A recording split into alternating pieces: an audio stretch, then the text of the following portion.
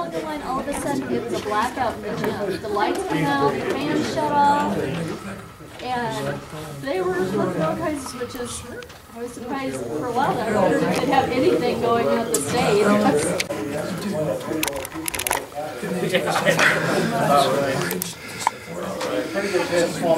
I figured the signal wouldn't be here tonight. It has to wait till it's reading up this here. And they'll put a sleeve inside. That'll be another three to four months. And then they'll put the tubes up front. Right, right. Gotta live like six months like that. And so you're just doing it Oh, poor thing, that would be great. But you have things to give them. I'd like to welcome our visitors this evening. Uh, There's an open meetings poster on the wall. Take a look at it. So we'll have roll call. Shillcott. Donovan. Here. Kleinschmidt. Lightline. Yes. Maloney. Present. None here. Oshner. Yes. Dumeyer. Need a motion for declaration of a legal meeting. Second. Moved by Kleinschmidt, seconded by Shelkoff, that this regular meeting of November 10th be declared a legal meeting. Roll call. Kleinschmidt. Shillcott. Yes. Donovan. Yes. Lightline. Yes. Maloney. Yes. None yes. Oshner. Yes. Dumeyer. Yes. This is the portion of the meeting that we use for public comment. If someone would like to address the board, this would be the time to do it.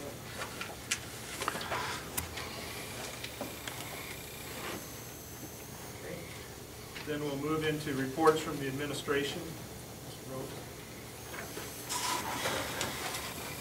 Um, I won't spend much time on the report other than, uh, report that I gave you here. And I'll spend more time on the data information. Um, Parent Teachers Conference didn't, wasn't as good a turnout as we had in previous years or previous last year, they're down ten percent. But we're trying to look at ways of trying to get those other parents in and, um, see if we can improve that number again next year. Had a nice veterans program this morning, well attended. Um, Probably the other thing that I'd highlight is our FFA is going to be involved in a blood drive next spring. Uh, There seems to be more and more schools being involved and kids being involved donating blood. So it's a good situation for a lot, a lot of things. You'll find a, some data here, some information on our Um, NeSA scores, as well as the ITP in ninth and eleventh grade, and also our ACT scores. The first page, and I won't go through all of them, but I'll just highlight a few things. First page has our scores for the for our first two years, and both years that we've had NeSA math, we've exceeded the state by quite a bit in our average.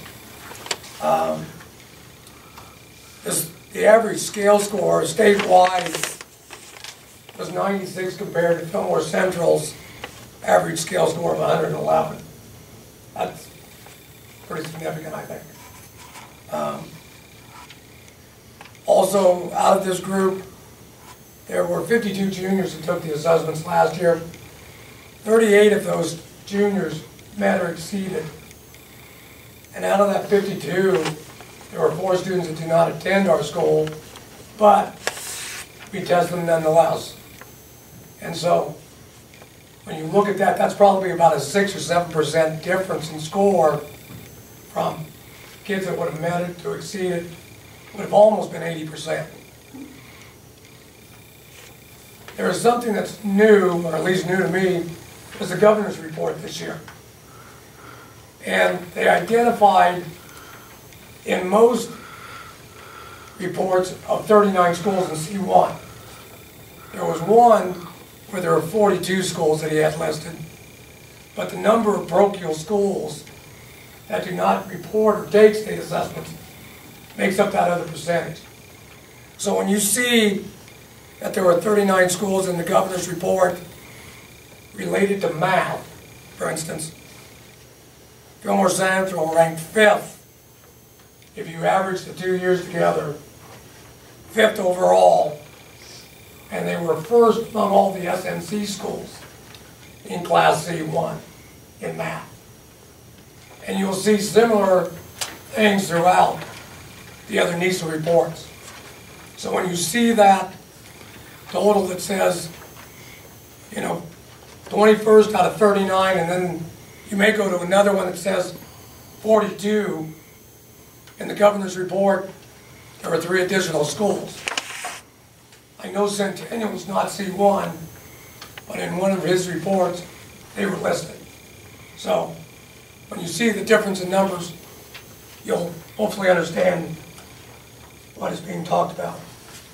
Um,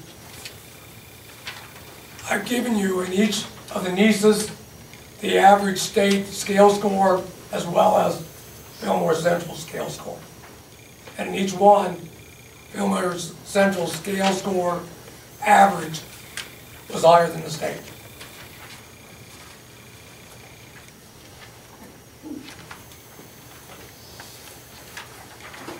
The writing, I'll talk about just a touch. The writing, when you look at the assessment in 11 and 12, you'll see a tremendous drop. Scoring in uh, 07, 08 was 93. In 08, 09 was 100%. In 09, 10 it was 98. In 11, 12 it was 63.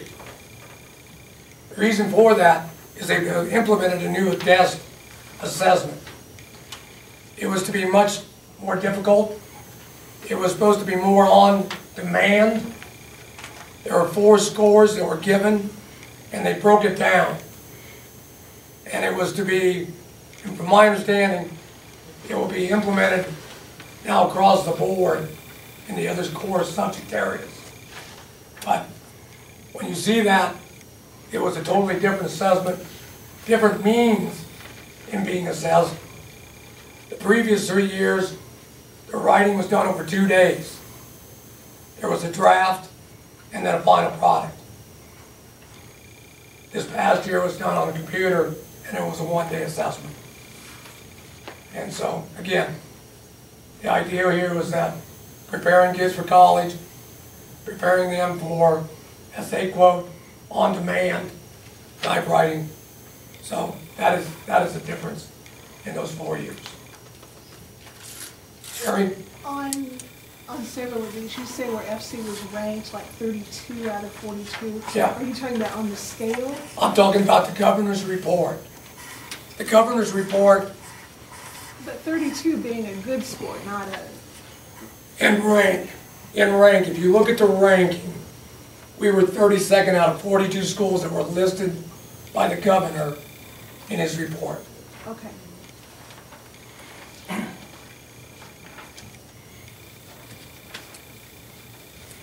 What is ITED testing? What is that? Is the Iowa Test of Educational Development. If you go to the element, ITBS, it- it- was it ITBS? Yeah. it's And then do they just take like version. the average of the ninth and eleventh graders? Because they're not split on those tests. It's, or am I misreading? We can, They we combine. combine, Okay. we combine. And we did that across the board. And then the final one is ACT scores, and there are a few bullets there also for you look over. Next month, if you have questions, I'll be happy to answer any of them, or if you have questions now, I'd be happy to do that also.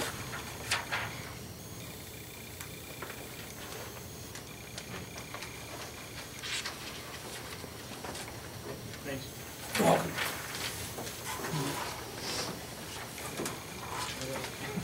Okay, all right. Well, the top print is the elementary, elementary book. And so, we'll, I'll talk, explain a little bit of what the, the tests are, and, um, on the bottom of each page, I put some bullets of, um, you know, what, some of the things that I saw when I look at the, at the data, so, um, as you look at it and, and reflect, and then if you have any suggestions or ideas or interpretations or other things you'd like to see, let me know. So it's organized much in the similar way. We start with the, the NeSA in fourth grade, and Mr. Rose is, is right. That scoring change will be in fourth grade this year as well. It's- We've been holistically scored, and last year we, we were holistically scored and we did quite, quite well. But next year, um, it will be analytically scored, so it'll be broken apart a little bit, so. But the format of the test for us should stay the same. In fourth grade, they do not require it to be online, it's still handwritten, and we still have two sessions, so they still have some time to, to reflect and regroup and edit and come back at it, so. Uh, but the scoring will look different, and so, as you can see by the scores, um, we are, um, above the state average consistently, and, you know, we were at hundred percent proficient last year, so. So great scores in, in the writing, and we look forward to the, the new scoring to, uh, maybe even better target some of our instruction when we get more specific feedback based on vocabulary, ideas, content organization, that kind of more specific feedback. When you turn the page, you'll see NeSA reading, and that's the percent that meet or exceed the standards. And it's, that one's by cohort, so that's looking at the same kids. So on the far right column um, of 2021, believe it or not, that's third graders. So that's the first time that they've taken it, so that's why there's only one score. Then in fourth grade, we have two years of data and so forth. So that works from third grade over to the eighth grade. So you can see the same group of kids and how they, they're performing. And so when, you know, when you're looking at that kind of data, you're making sure that that, now, that's not taking into account um, as neatly as maybe the state will pull out some of those. This is just looking at what was on our reports, you know, so this may be, depending on our mobility rate, you know, but the core of those should be the same kids in each, each grade level. Um, So you want to see that that group of kids is continual to make, make the progress when you're watching that, that data move per grade level. Um, The next, you'll look at by grade level. So, um, again, third to eleventh grade, but now this is just in that grade level, so this is different kids each year. So when you're looking at this kind of data, you're just making sure that you don't have a lag in a specific grade level, even though it's different children, that would mean we might need to go back and look at our curriculum alignment or our instructional practices at that grade. So when you're looking at this, that's why you're looking at different kids, with there, is there a, a lag or a peak that we need to, to further analyze that's something different at a grade level? Um, And then the percent proficient, Fillmore Central versus the state is the next one, and that's um, what Mr. Rose was, was talking about. So again, you can see all the grades from third through eleventh compared to, um, compared to the state, the state average. And um, I think Mr. Novell mentioned that last month, and I pulled that note off the bottom, so you can just see the, in fourth, seventh, eighth, and eleventh grade, um, were the grade levels that we exceeded um, in, in reading, again, instead of reading. Then the next page is an average scale score. So I gave you a code at the bottom. Individual um, NeSA reports for all the content areas are sent home, and that's what parents will be looking at is the scale score to, where's the cutoff of if my child met standards or not. So you can see on the key on the bottom, 85 to 134 is meets standards, and then 135 to, to 200 is exceeds standards. So then these are looking at just average, so what's the average scale score of, of all third graders versus, versus the state? So you can see our average score is still much above that cutoff of meeting standard of, at eighty-five, when you look at that all together. And then we move into, to math, and it's organized much the same way with the bullets that I pulled out to the bottom, and this is again the cohort or graduation year. So moving third grade, which is the first year they take reading and math. We don't have science, um, ESA science at the elementary at this point. Um, I think it might be coming in the future, but not at this point. So if you move left to right, you're going up in um, third, fourth, fifth, and- and up. And again, you're looking at the same kids, so to see their progress um, from year to year that they're, that they're growing.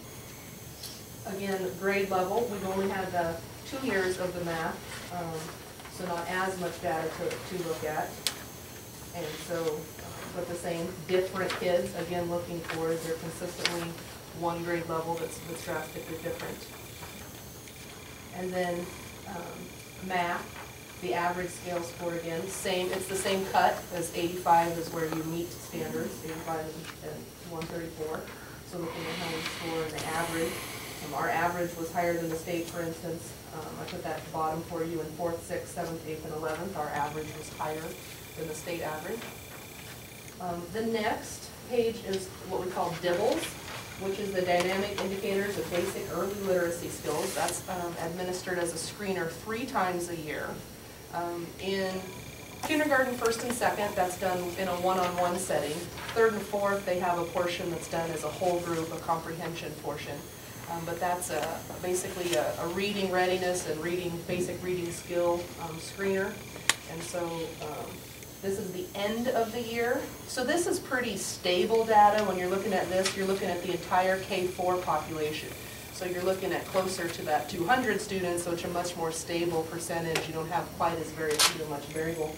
And, and uh, generally speaking, this chart is kind of how you want to see the data look when you look at the benchmark category, how it's just kind of steadily rising there in a trend, in a trend line. So um, So we watch that, and then the children, just a side note about what we use this, this particular one for in conjunction with all the pieces of data is when we have our um, building data team meetings, because we do this three times a year, we talk specifically about a grade level and about the children, and then anyone that's in intensive or strategic, we start talking about what intervention plans do we need to put in place. So that's kind of how we use, use this data. The next page is CBM Math, which we've only done two years now, but it's basically that same kind of three times a year screener, um, but focusing on the academic area of math. And this one is different, the children take this um, as one group on the computer. Um, So this is relatively new to us, but it's beginning that more continual um, dipstick measure of, of where are the kids and and how are they growing, and then the same levels of concern if they're in a range of intensive or strategic. And that's a different benchmark at each grade level, increases. There's a beginning of the year standard, that bar is continually raising as we're, we're going through the year and through the grade levels. Um, the next is a high-frequency word spelling test, and as you can see, there's four years' worth of data. That's something that, um, is a Fillmore Central Elementary test. We standardize the process, so it's administered by the same people, give them the same prompt, but knowing that that's one of the pieces of fluency, which is our, um, area target for reading improvement, that's a key piece of that is, is the ability to, um, to read and have quick access to high-frequency words. So this is the next level of output, say the words, all standardized process, and they write and spell. So um, that data looks pretty stable, and we're meeting our standard in that particular little piece of fluency as far as sight words. Um, Next, you go into ITBS, which that's what many of us remember, the circle test that you filled in, that you took with everybody, and they're timed in separate, separate amounts for each area. So you have ITBS uh, math and reading to look at, and then this is looking at the percent at or above national average. So when we get our scores, you can look at quartiles.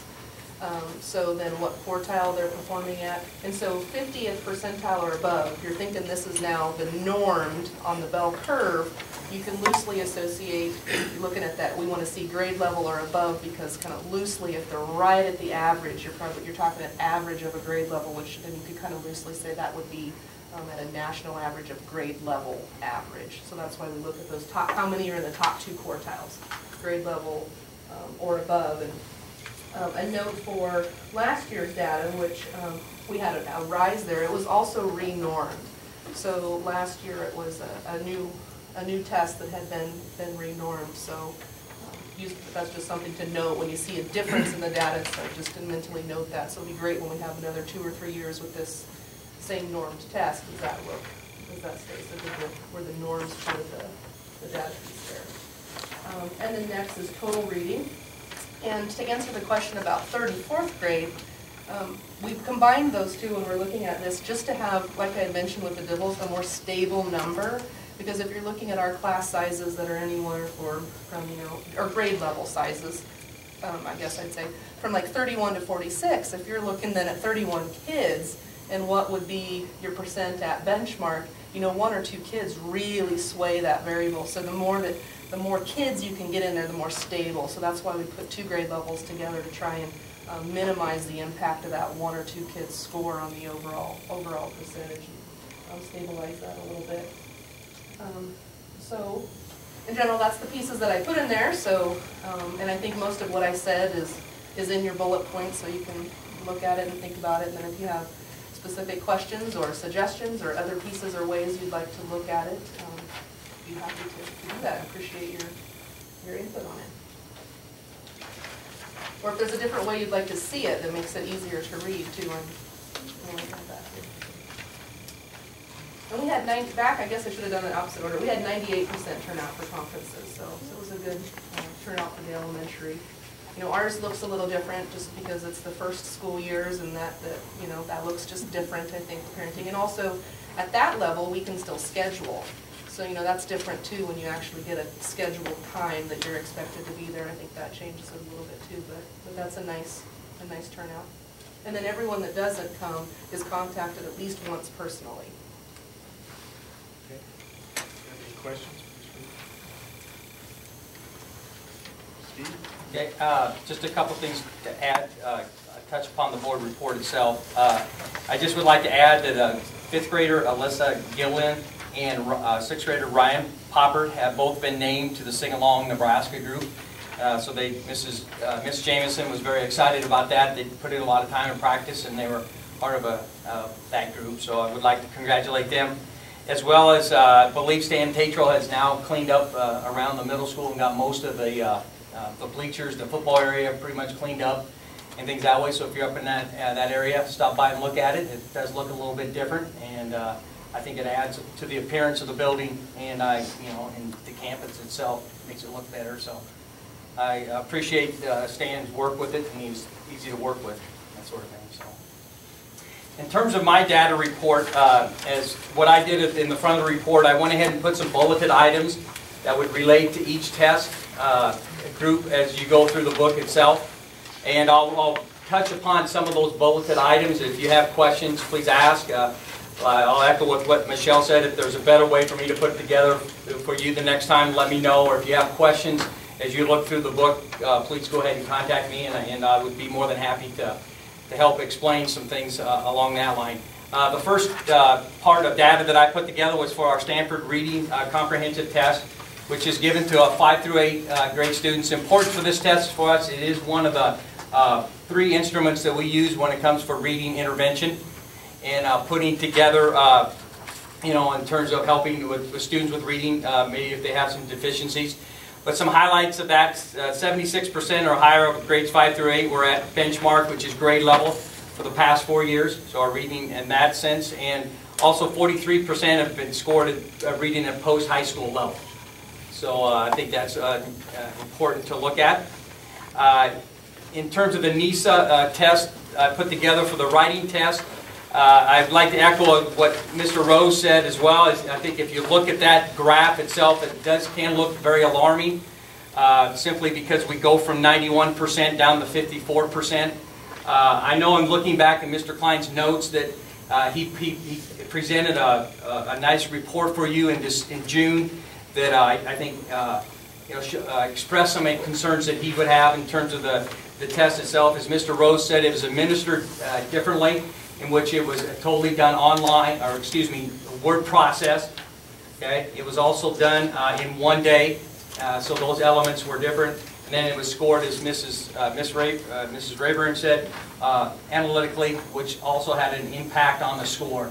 Uh, as I noted, Mrs. Stingle and, my, and I myself have been in communication about some ways that we can look at better preparing our students as they prepare for the NeSA test, NeSA writing that will be coming up in January. So we again had a conversation about it today, and she's uh, you know very in tune to what she would like to see in terms of uh, done earlier for her students to be successful. So that's the NeSA writing score. So it is does look alarming, but I think uh, with some corrections, hopefully the, the scores will be better. Uh, in terms of the NeSA reading, uh, that uh, score that for you, uh, it's just a couple items that I said, uh, past three years, uh, higher, higher percentage of our seventh and eighth grade students have met or exceeded this uh, standard than the state, and that's been consistent for the past three years. Uh, the fifth and sixth grade scores, uh, they were below uh, the state average this past year. Uh, it is part of the school improvements goal to improve reading comprehension for all, all school, students throughout the district. So that is part of our school improvement goal, and, and we've been working diligently on that this first semester, uh, once a month on our early outs that the board has agreed to allow the, the teachers to have for work days. So uh, that's just some uh, earmarks there for you. Uh, The math, uh, I won't spend a lot of time on, just highlighted uh, one of the grade six or eight has scored at a higher percentage of proficiency than the state in each year of of the testing. So, you know, we've done well in that regards as well. The Explore test, I I gave you uh, the four tests combined together of the English, math, reading, and science. Then also broke down per test for you to look at if you'd like to look at that individually. Uh, The Explore test is part of the ACT battery test. It's to uh, gauge the college-bound readiness of an eighth grader.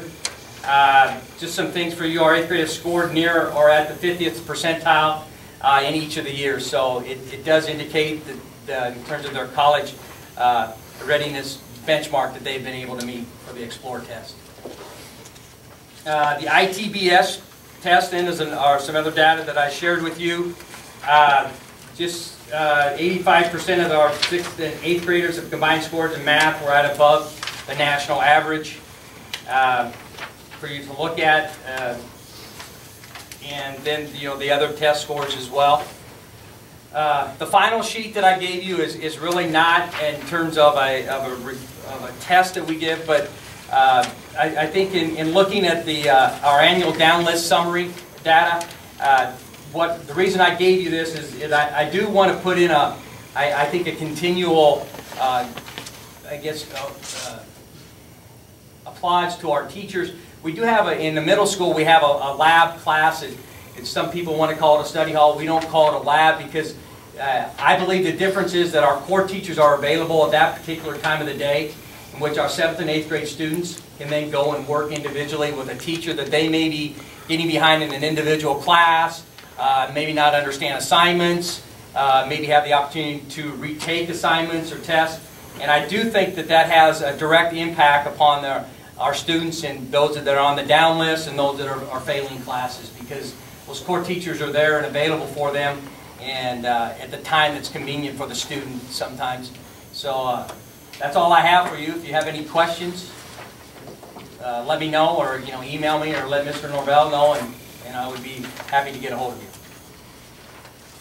Any questions? Thanks. Yeah, all of this data, it can be a little bit overwhelming at times, but our steering committee will look at it, and uh, also our school improvement committee, which Mr. Atkinson and Ms. Stengel lead the school improvement committee, and there's board representation on our school improvement committee, and they'll review, review that data, make sure that we're still on our, our basic goal. Our goal is to improve reading throughout the district, K-12, and you know, does our goal need to change and move to math or whatever? They, they take a look at that, those areas and decide if we're, if we're on track. Remember that a one-year set of data is just a snapshot. We Really need more than one year to make good decisions, but, uh, you know, our, our data is, is good and uh, we've done well uh, overall in the NeSA area. Probably didn't do as well as we did a year ago, but uh, we've been pretty consistent uh, over time. But it's not, it's not like we spend five minutes at a board meeting or 10 or 15 and never look at it again. We have two sets of groups of people that take a real good look at this and make sure that we're, we're, we're on track. Um, Representatives from Clark Enersen are here and they'll be doing a little PowerPoint when we get down the, the agenda here, so, uh, and our science teachers are also here. They've been working with them on this, uh, particular project. The State of the Schools report does come out on November 20th. It'll be available on the Department of Ed website, and it will include, I would, I would believe, a lot of this data. Uh, Annual report, we have an annual report. I thought I sent it to you electronically. I know there's at least a copy in your stuff, and then it's also online. It's also on our website.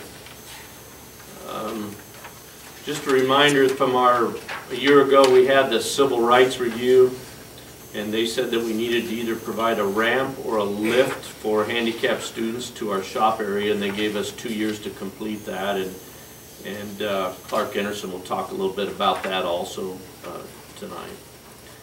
Um, We are looking at offering a breakfast program in our respective buildings next year, and we're still working out some details on that, so we're gonna keep you posted. One other item is that right now, we're, what we're planning on doing was we're planning on playing our junior varsity boys basketball games at Fairmont rather than at the downtown gym.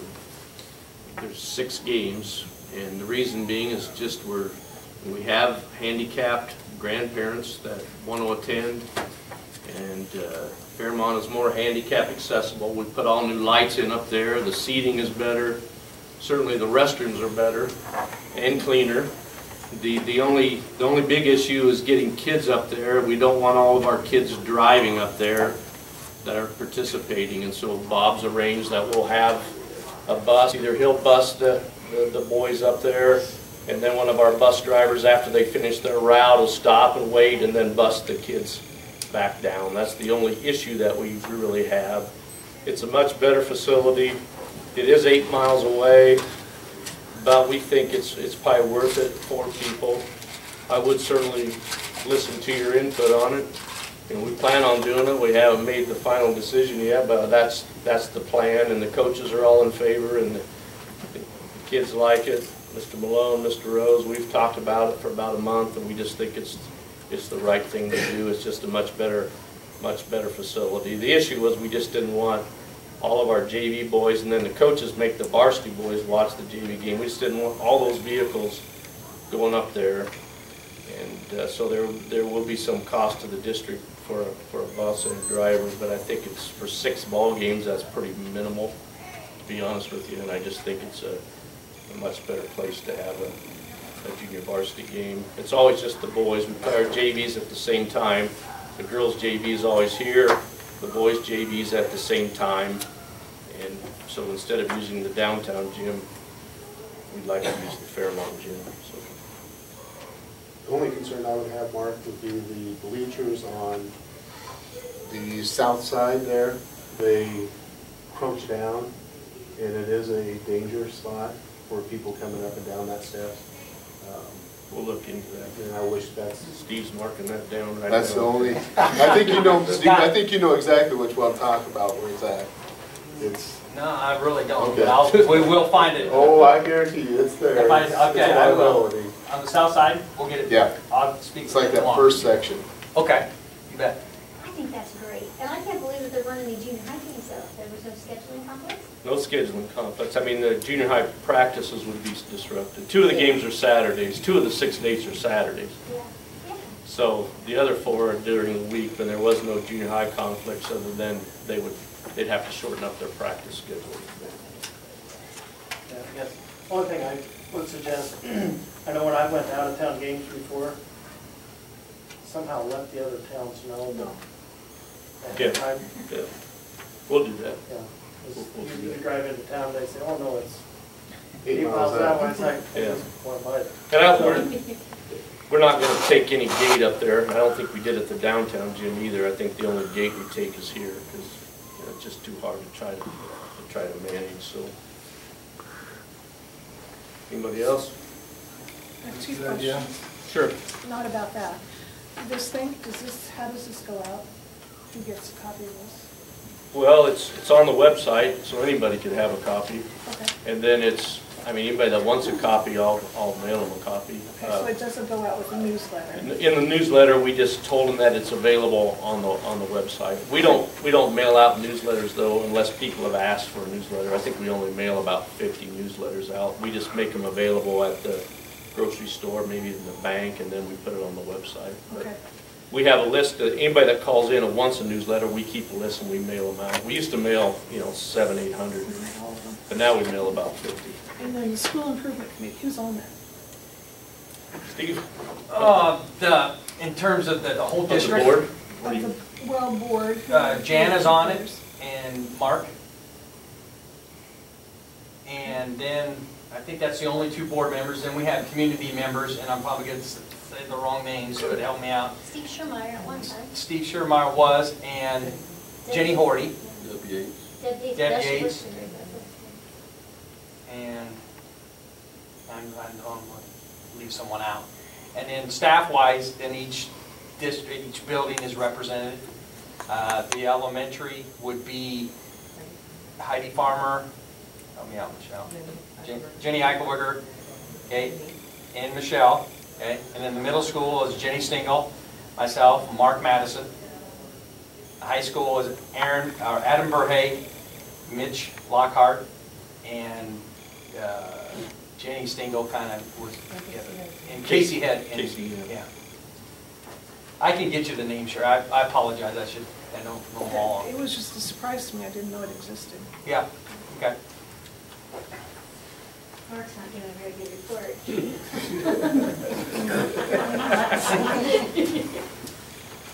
Yeah, we've, we've always had a school improvement committee here since, I mean, probably, well, we didn't have when I first came, we just had the steering committee. I think Mr. Klein kind of got it started, the school improvement. We kind of broke it off. The steering committee did all of those things and we broke off and started a school improvement committee, probably six years ago though. It's probably been at least six years, I would think. It was a group that rewrote the mission.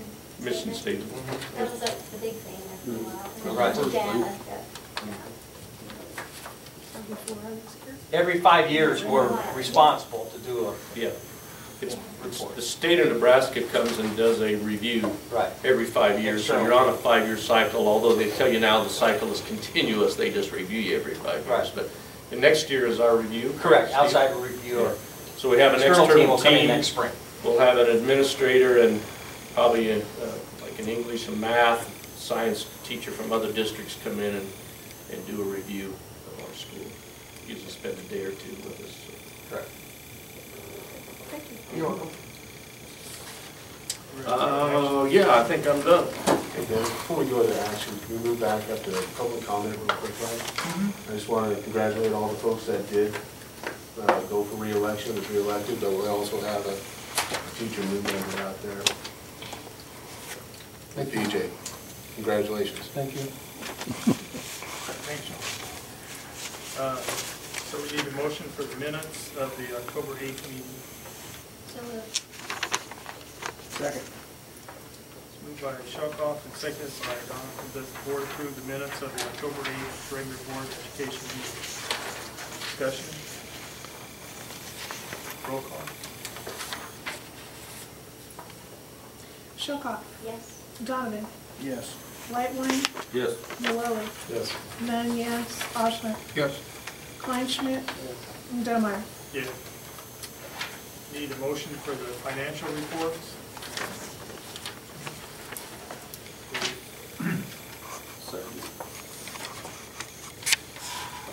Moved by Dave and seconded by Mark that the board approve the financial reports as presented. Discussion? Roll call? Ochsner, Yes. Lightline, Yes. Maloli, Yes. Mann, yes, Shilcock, Yes. Donovan, Yes. Kleinschmidt, Yes. and Delmeyer. Yes. Need a motion for the general fund claims? I will move. I'll second. Moved by Jim and seconded by Jana that the board approve the general fund claims in the amount of two hundred and sixteen thousand, six hundred dollars and sixty-eight cents. Discussion? I want to go over about three of them with you, real, real quick. There's one that says, uh, about the middle of the first page, the band uniforms, Fruhauf uniforms, and the total cost of band uniforms was forty-five thousand. We're at, we're paying thirty-five thousand at this time, and uh, I think the band booster club is gonna try to see if they could pay that remaining, at least that was the original deal, and if they can't, we may have to pay a little more, but I think that's, that's what our attempt is there.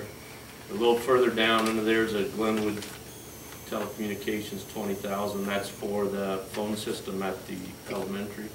It's all three of our buildings now have the same phone system, and for our safety and security plan, every room now can dial out and dial the office, so it's the first time we've had that ever, and, which is a good thing. And then a little further down, Kelch Plumbing and Heating, that's a large bill, forty-one thousand. That was really thirty-six thousand of that this summer. Lightning had struck, and we had a power outage and burn out one of our uh, condensers, compressors for the chiller.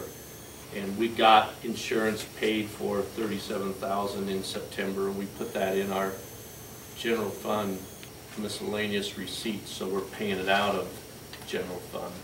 So it's something that, you know, we didn't necessarily plan in the budget. We were hoping to finish that all and get that all done prior to September 1 on last year's budget, but we didn't, so that's that. So we did get that amount of money in, into, or 37,000 into uh, general fund receipts, so just to let you know. And Mark, I I emailed you about that question you had today. Did you get the answer to that? On that?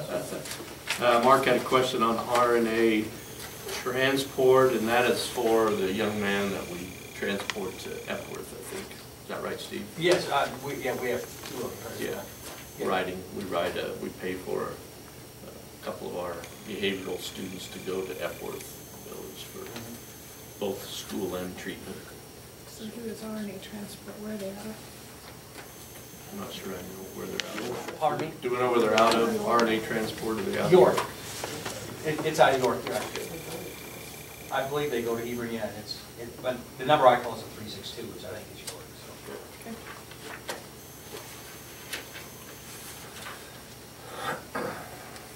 Roll call? Donovan, Yes. Shelcock, Yes. nine yes, Oshner, Yes. Kleinschmidt, Yes. Whiteline, Maloli, Yes. and Demeyer. Yes. Um, Point five FTA, FTE art position. Need a motion? So moved. I'll second. Moved by Jan and seconded by Jim that the board approve the addition of a .5 FTE art position for the 2013-2014 school year. Discussion?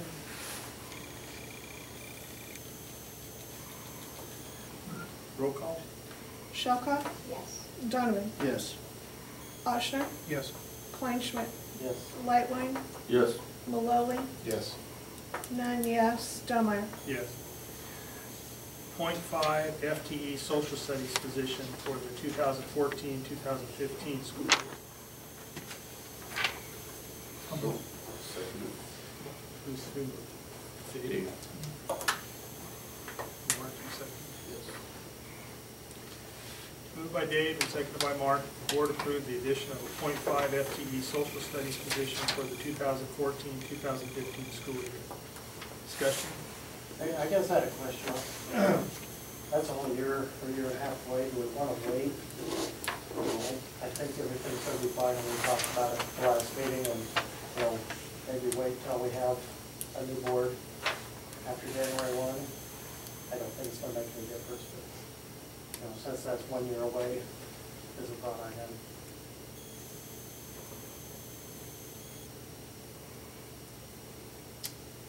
Further discussion? Does that affect your planning at all, Mr. Norvell? Um,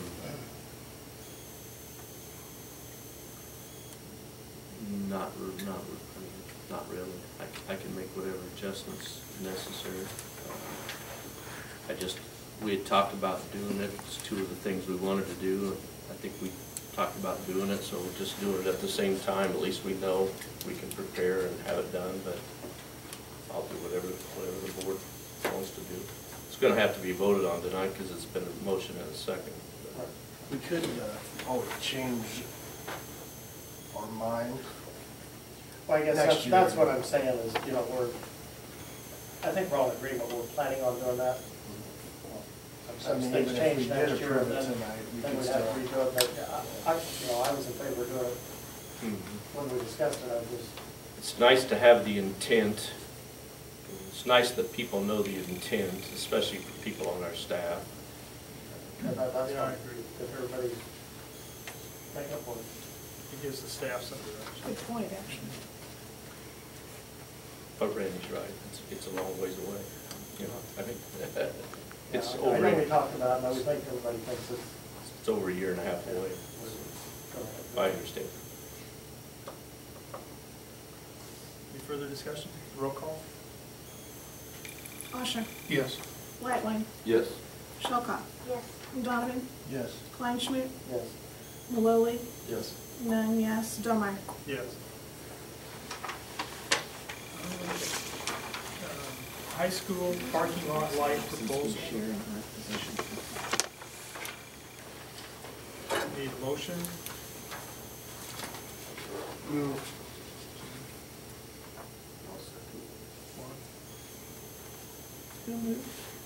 Jim. Moved by Jim and seconded by Mark that the board approve the high school parking lot light proposal from the NPPD as presented. You should have had a picture in there. It's amazing they cover that much area. One way. I, yeah, evidently it's gonna be bright. Like they said, they'll do it, and then if we need adjustments or wanna change something, we can change it, but we kinda have to see what it looks like. But they, they- they told me they use them at different places in York and whatever, and they're great. so. Can you explain a little bit, I mean, we know this, you just sent an email to us. Sure, sure. Um, Basically, NPPD, rather than they come in and and we have to buy poles and an electrician and install, they offer a service where they will put up, in this particular case, two poles. One is already an existing pole, excuse me, on the, what is that, southwest corner there, that's an existing pole. They would put up a new pole right by, I'm guessing those are detasseling buses from the summer park there. It's, it's a you know, GPS from this summer, but they put up that new pole, mount two of the uh, floodlights there, it would be almost straight across over here. And uh, those three floodlights, they feel like will light up our whole parking lot. The cost to the district, I believe, was around eighty-three dollars a month. And basically, you just rent that forever, and then they're, they're responsible for the maintenance. Any new lights, NPPD takes care of. Uh, I suppose a storm, I think we're paying for the wire the first time and the pole, for- or the wire the first time, but after that, we're renting it, or it's part of the rent agreement, so. They looked at different things, but they think this will work. If this doesn't work, they'll come back and they'll make adjustments. Then we're also talking with the city about furnishing lights down the street. It is, it is a public street, and we've provided the light for that street since the school was built in nineteen seventy-five, so we're working with Kyle and the city on the, the city. And NPPD would also do that work, and of course, they would bill the city by month for that light instead of billing the school, which I think seems reasonable. I'm not sure that city council will see it as reasonable, but I'm hoping they do. I think they will.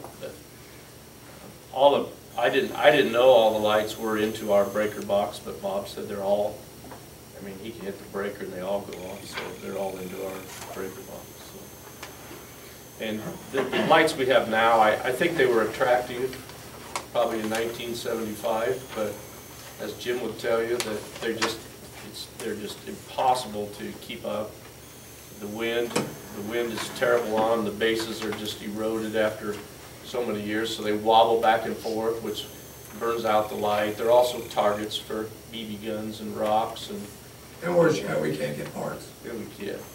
I think when we did get the bulbs, they were running around fifty dollars a bulb too to replace the, the lights, so it was, I mean, it was, it was pretty expensive. And we have, I don't know, I haven't counted them, but we have way more than what we need. They were put in to be attractive and, uh,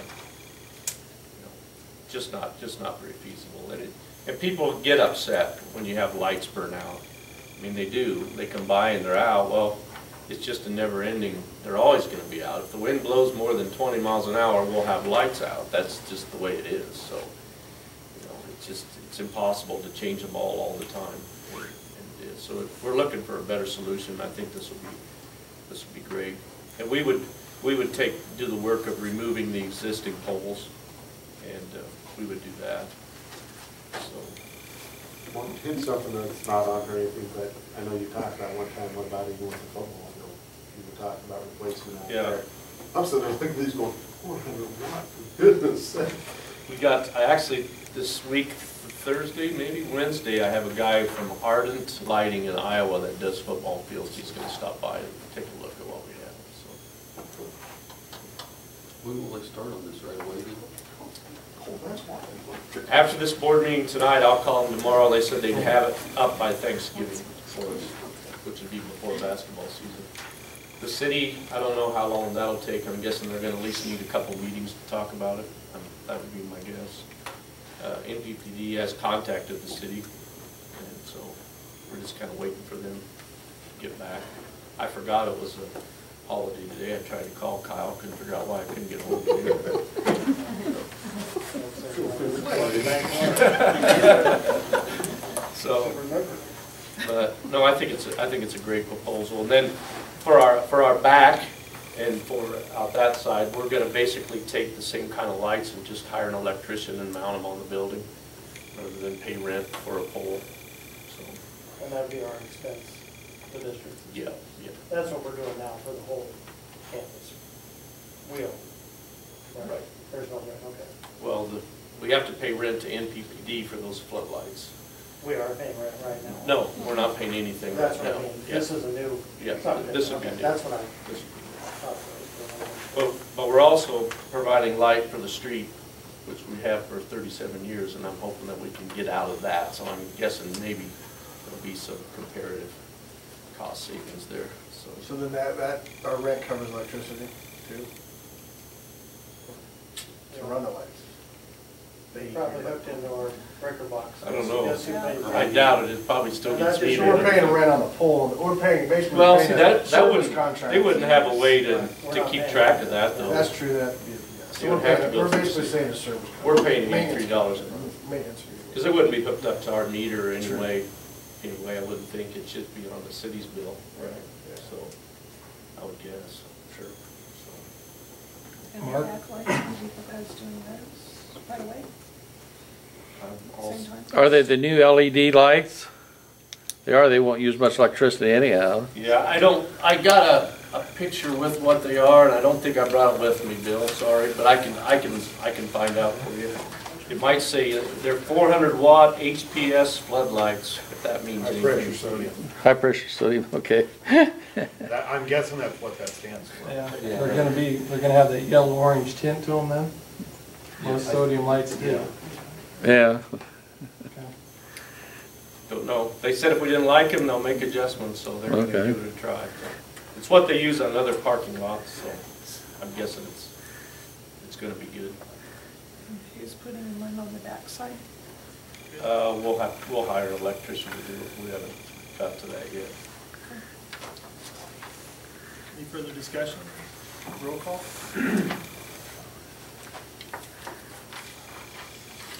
Donovan, Yes. Lightwing, Yes. Kleinschmidt, Yes. Maloli, Yes. nine yes, Oshner, Yes. Shelkoff, and Demeyer. Yes. High school softball cooperative agreement with Exeter Milligan. Is motion?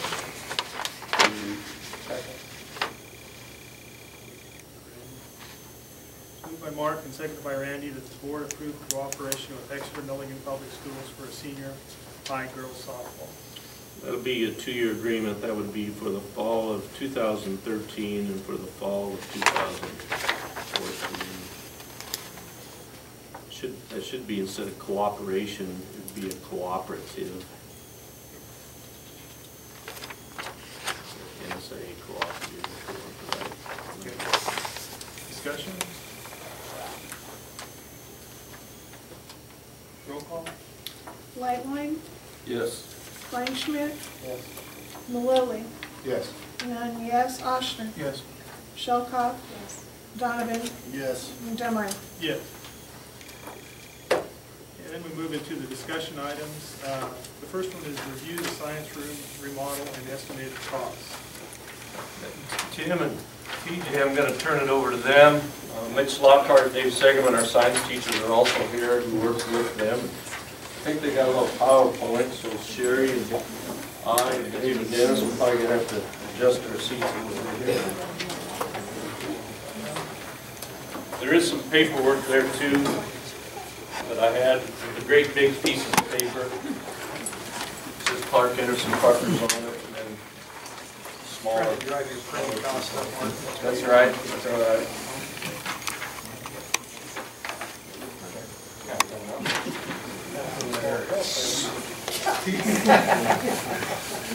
As we get older, it gets a little tougher.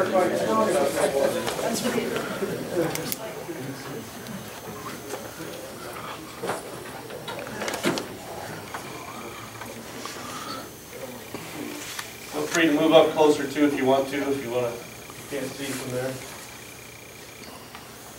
Well, Mark asked us to come out and look at science room, so we had two meetings with Mr. Rose and the science staff.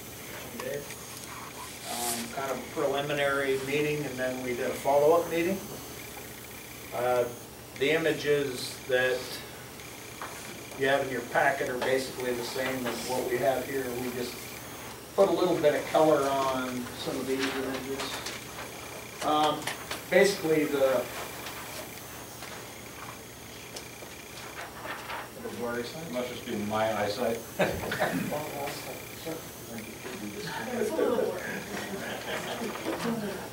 Uh, If you're not familiar with the room, right now, there's chemistry room, a room in the middle here that is used for a computer room, a prep area in the back, and then biology is on this side, physical science, whatever.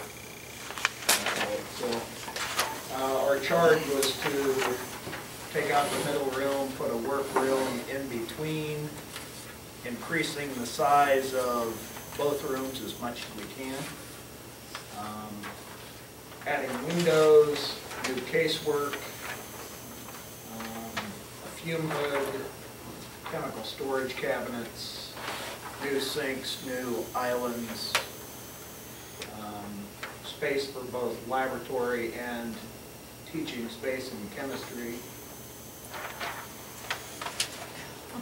I guess we can kind of walk around the room, but chemistry basically has um, a shower, eye wash station, goggle sanitizing cabinet, um, marker boards, uh, full height wardrobe, storage units, an ADA station, a sink for washware, um, cleanup, six four-person islands, uh, teacher work area, a fume hood, general casework,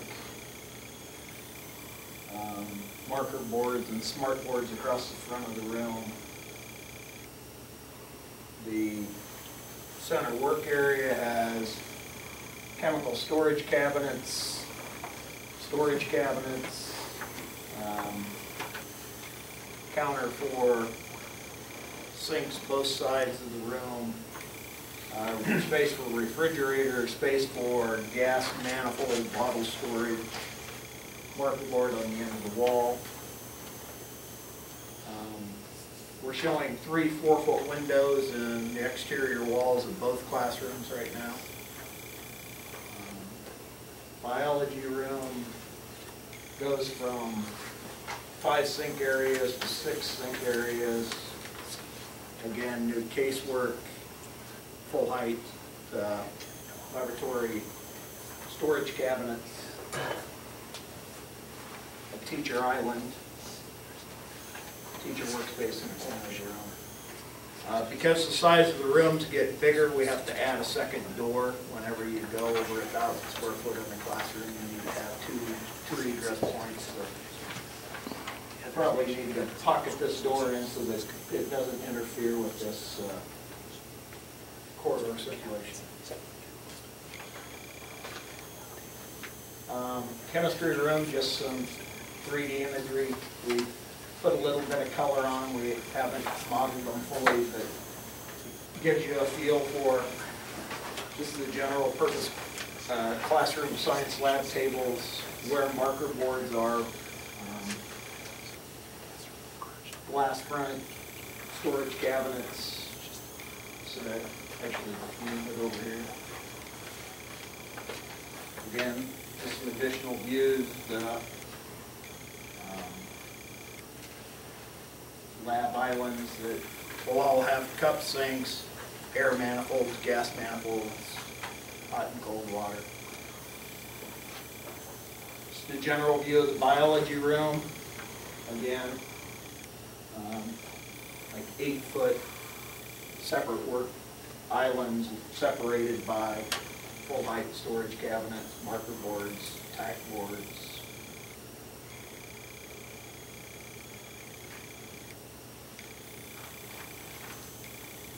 Be used each direction in the work area in the middle.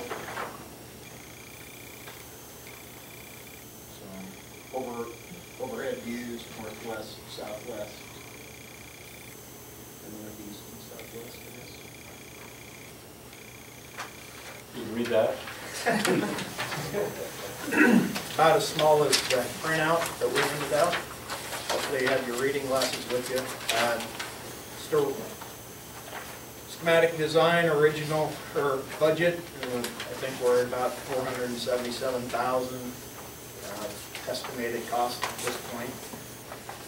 As we get further into design, we'll refine that number. The more we know about things, we're making assumptions at this point on several things, but tried to itemize out as much information as we could. Well, one of the things that is having an impact on that cost is the state fire marshal says that if you do this project, the room is gonna have to be sprinkled, uh, which you don't have any part of your school sprinkled right now, so we have to, uh, bring in a new fire sprinkler service, if you will, and water service. Um, They will likely require you to have a plan for sprinkling the rest of the building at that point. Um, Maybe a five-year plan where you do something every year, or however you want to do it. Uh, It's probably not a bad idea in any event, but we, we do have the cost of bringing in the water service and then, which would be in the east end of the building, and bringing sprinkler system piping around to the science room and and sprinkling those rooms, you know, the shop area and those spaces, kind of as we go, so that then in years to come, you could, you could kind of add on to that in however big an increment you'd like to. Um, That's what we've in- included, that's what the state fire marshal's office in Lincoln tells us. They would do. We will need So to we talk will- to Pat Merritt, the local fire marshal, we need to That's, that was my question, was with Pat. I mean, I'm seeing where it's like, you do one, you have to do the whole building. Yeah. And not in five years, but it's gotta be done. It, it depends on the local marshal, it really does. When, when we did West Holt, they, they let them write a, a five-year plan, and it was phased over three summers or something. If we do one building, do we have to do them all then? No, just wherever you put the nail in. You put the nail in one building, then that's where you get. that's- Usually when it's a major renovation, they'll, they'll make you make the step, or at least make progress towards the step. We, uh, I can't say that, unless you remember one, a district where they haven't allowed the, the plan for, for a school district, you know, the, the five-year plan or, or whatever sort of plan you come up with. That said, the state fire marshal's office is kind of interesting because each local fire marshal is his own authority, so he can uh, sort of make up his rules the way, the way he wants to, so that'll be important to figure out. That's what I wondered when you said about Pat, because I was like, hold it. Yeah. The question I got is, you'll come in, just to an example, gentlemen, before Yep. we got done out at the girls' facility, it was over a half a million dollars for that small Is right? administration building and school part. But we'll get a hold of him here within the next few days. And that was, I And confirm. It's usually best to get the marshal in the building, but some people don't like getting code officials in the building. Then they start looking around, so, um, it- it's kind of a double-edged sword. It's usually better to jump on it and get their interpretation in the building so that if he sees that you do have area separation doors or something, he, he may make you phase, or he may allow you to phase a lot more than if it's an open floor plan building. Most of your corridor walls are all structural bearing walls, so there is fire separation in your building. And you have separation doors there and there and down on the end of the hallway down here, so it is phased out. So just for the science rooms and putting in the system, that's the twenty-seven, something. Um, Mitch and Dave, is this kind of what you want? Um, yeah, we looked up, um, uh, Nebraska, or National Science Teachers Association mandates for science classrooms, and there's about 30 or so that we thought this project would fit what we currently aren't in compliance with. And so for um, square footage, for having um, ventilation purposes, hot and cold water, ADA accessible, all those type of things that are safety concerns and would be uh, what you think a modern classroom would have, this project fits, which is what we wanted to see. So we basically kind of went, well, what would you like to have? And that's kind of what they worked with us and said, you tell us, we'll put it down, and we kind of went from there. And then made what, what was possible, what's not possible, and changed it that way, and that's how we came across it, so. And Mitch's original sketch showed stuff fitting in a lot better than our sketch. We could add on to the building if you wanted to do that. And this will handle your class sizes Yeah, they, they made it um, for about 24, which is a pretty normal classroom size for us. And so square footage wise, that's about perfect for everything that we're trying to do. And fits the mandates and fits all the guidelines and regulations that they suggested per student per square footage, so. Yeah, the, the same guidelines Mitch is talking about really recommend that you don't go over about 24 students in a science classroom. It fits pretty well. Um, I guess the other part of the puzzle we've been looking at is the IT classroom. Uh, Mark mentioned the lift. We looked at improving the exhaust in the room. But I think that was the first IT lift is a, there's a colored pamphlet that goes over the lift, and then there's the small, that they, we handed out just a small piece like this that has the costs on it, I think. Yeah, his first piece was improving the Magnifying uh, mechanical, mechanical upgrade to exhaust. Uh, We looked at replacing the two exhaust fans that are there and just reconnecting them to your existing hood systems. Um, Comes out about seventeen thousand dollars. And then we looked at two options for ADA accessibility to that lower level. One is to add a mechanical lift like the cut sheet, which would basically entail um, removing the stairs that are there, extending that platform out about, I think, six feet is what I assumed. And then installing the mechanical lift. Um, I got this cut sheet from O'Keefe Elevators out of Omaha that it's a, I think it's a Tyson Crip elevator or man lift, fairly standard unit. The other option was, that we looked at was to add a ramp, which would basically take up ten foot along the entire west side of the room, so you lose about ten foot in your science room. For forty inches of rise, we need forty foot of ramp plus a landing at thirty foot, so it, it- it would take up the entire, um, west wall, you'd have to ramp down, do a switchback, and ramp back down another ten feet, so there's, uh, a hood, well, there are two different hoods in that corner of the room that would basically get pushed out more into the middle of the classroom, so you'd lose about ten foot out of your science rooms, plus it's about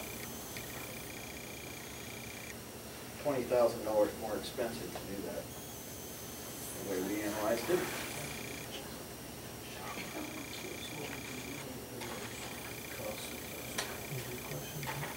We looked at these costs if we did them with the science room renovation.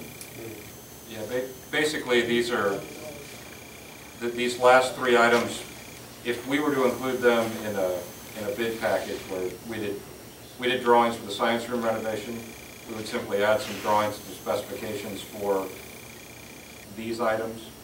Um, You can see uh, in the cost estimates, right above the total on each, it says TSAP AE Basic Services.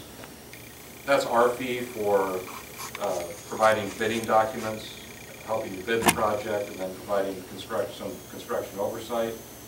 Uh, The, the only other cost that there would be for Clark Enersen would be, well, what are called reimbursable expenses, and they'd be standard reimbursable expenses, which basically means uh, cost for printing drawings, uh, depending on how we do that, so that contractors can bid it, um, and and our travel expenses are about all that would entail for a project like this. Um, So that said, these, these last few, if you wanted us to include those in the bid package, that's great, and we can do that. If you didn't, um, you just wanted to go out and hire somebody to do this type of work separately, you could, you could do that, and obviously we wouldn't charge you anything for that. Um, In talking schedule, uh, the desire that, that was given to us was to have, maybe have this work done next summer. Uh, We think that in order to do that in, in an efficient way, you'd really want to uh, approve a contract with a contractor, probably at your March uh, board meeting. That would give them time to mobilize and get, the, the long lead item here is going to be the casework at the labs, which will be about 12 weeks.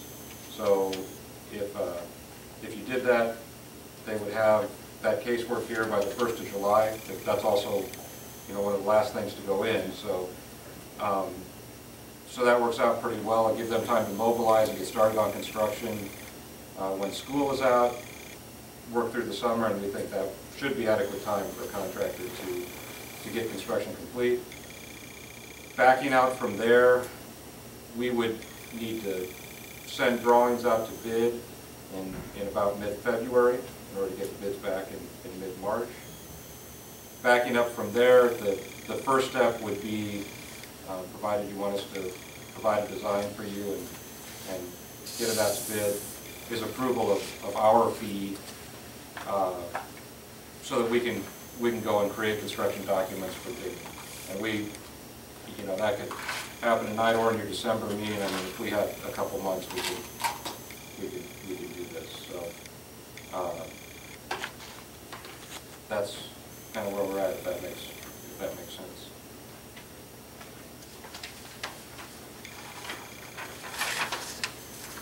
Questions? So the only, the only thing that would change if we, if the board decided maybe later this spring that they wanted to do this, the only thing that would change would be if we wanted to do it for the following summer, not this coming summer. Right, would be possibly some of the fees or the, the the bids may change over a year's time. I think we'd want to, I think we'd want to reevaluate that at that time. Um, It, I, I wouldn't anticipate at this time that there's going to be some huge uh, cost change. It's not a big enough project, you know, a lot of the thing, fluctuation that we see in construction cost is in, can be in steel. Uh, Several years ago, steel was going through the roof and, and you, well, if you didn't nail it now, you had no idea what the price was going to be six months from now. Um, Copper is kind of that way, and you will have copper in here, you know, wiring and pipe and stuff like that, but that's probably not enough to make a huge difference. We just want to review that cost later on. There's always going to be some escalation. The longer you wait, the more. Can you talk about what we talked about the other day, the kind of the payment structure? I mean, when we're doing the projects, how the payments work? Sure. Um, I guess the, the first payments that you would incur uh, would come from us, um, and, but that's a smaller portion of the, of the work, that wouldn't be terribly significant. Uh, If, if you approved bids in, in March, uh, the way the project is, is paid out to a contractor is they submit a pay application, and on that pay application, they ask for payment of stored materials plus work that they've, they've completed. So. Usually a bell curve, is you, you hit a four or five month job like this, you'll have fifty percent of the work or sixty percent of the work three months in. When you have to pay a supplier for all the casework or buy the equipment. You, you you pay as you, you pay as you go. In other words, it's not like a, you know, home remodel where you might pay fifty percent up front and, or whatever, you know, twenty-five percent up front, fifty percent halfway through, and twenty-five percent at the end. It's, it's a pay as you go. Money is held back. Um, retainage is held from the contractor, so that even with that last pay application, uh, you still are holding some of their money, so that that's the way we ensure that things get buttoned up.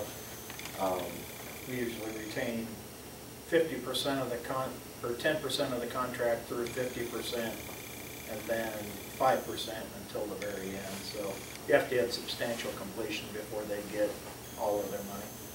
So you would be paying all through the summer and then even into the fall, but it'd be spread out as they're doing.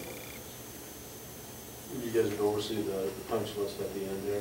We'd oversee the punch list and we'd oversee the, we're, we're uh, responsible for overseeing those pay applications and telling you, generally, yes, that's, that, that that's okay. We can't count every, uh, you know, every, every screw or anything like that, but, but we're responsible for looking at those and making sure that their numbers add up and that that is the state of construction that they're, they're in.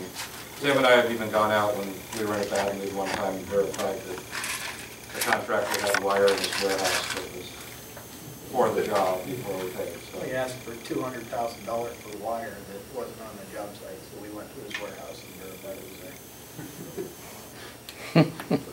That's, and we were, We, we have contract administrators that will attend the monthly meetings or bi-weekly meetings, whatever we determine.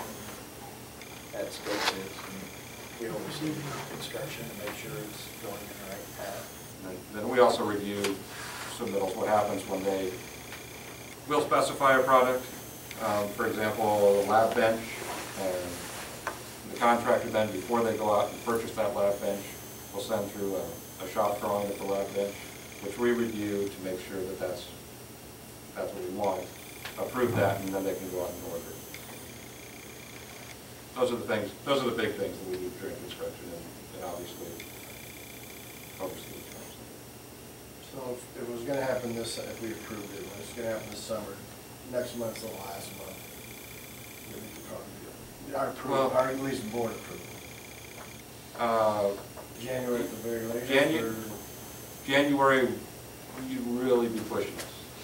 Um, That would be. Just, yeah, just, just that'd for be really- clarification.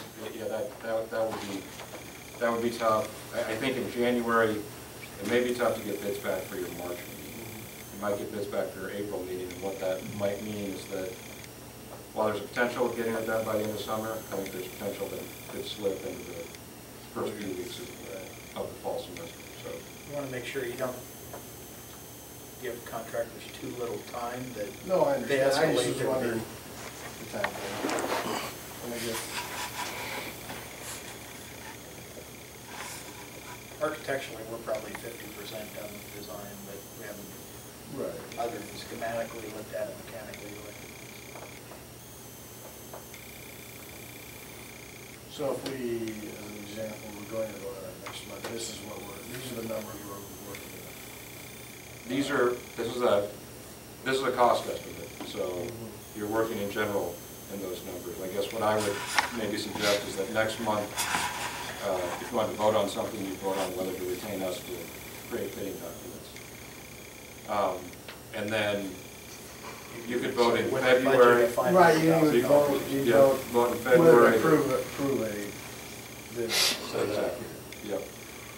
Um, And the way that works for, for our fee also, if, say you approve us to do bidding documents and we get through the drawings and you decide you're not even gonna send it out to bid, something changed drastically and you don't even wanna do that. Well, uh, we would be seventy-five percent of the way through our work, so it'd be seventy-five percent of our fee.